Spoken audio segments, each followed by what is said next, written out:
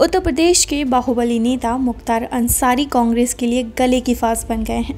ये मामला जितनी तेज़ी के साथ तूल पकड़ता जा रहा है, ऐसे में कांग्रेस के कैप्टन अमरिंदर सिंह सरकार को ये नहीं समझ आ रहा कि आखिर इस समस्या से कैसे निकला जाए। एक तरफ़ उत्तर प्रदेश सरकार लगातार ही ये मुद्दा उठा रही है तो राज्य में विपक्ष ने भी इस मामले को हवा देना शुरू कर दिया।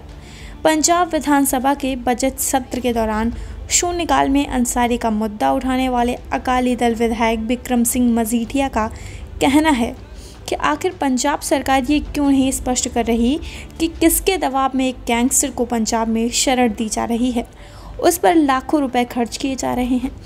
मजीठिया ने कहा कि अब तो उत्तर प्रदेश के मंत्री ने भी जेल मंत्री सुखजिंदर सिंह रंधावा द्वारा मुख्तार अंसारी के परिजनों से मुलाकात करने का आरोप लगाया।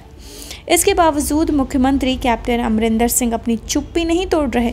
मजीठिया ने कहा कि एक मामले में मजीठिया ने कहा कि एक मामले से केस में अंसारी स्टेट गेस्ट बने हुए हैं। अलबत्ता पंजाब सरकार अंसारी की वकालत पर लाखों रुपए खर्च कर रही है। कांग्रेस के एक वरिष्ठ नेता कांग्रेस के एक वरिष्ठ नेता बताते हैं कि सिरोमणि अकाली दल इस मामले को तूल दे रहा है। निश्चित रूप से इससे कांग्रेस की छवि पर असर पड़ सकता है। सरकार को इस पर विचार करना ही होगा। कहीं ऐसा ना हो कि 2022 में कानून व्यवस्था को लेकर कांग्रेस की छवि खराब हो। बता दें कि पूर्व मुख्यमंत्री बता दें कि पूर्व मंत्री बिक्रम सिंह मजीठिया ने उठाते हुए पंजाब सरकार से सवाल किया, क्या उसे विपक्षी नेताओं पर हमले करने के लिए राज्य की जेल में रखा जाएगा? उन्होंने बताया कि गैंगस्टर जबरन वसूली का रैकेट चला रहे हैं तथा जेलों से हत्याओं का आदेश दे रहे हैं। काबिल गौर है कि मुख्तारी अंसारी के खिलाफ जनवरी में 19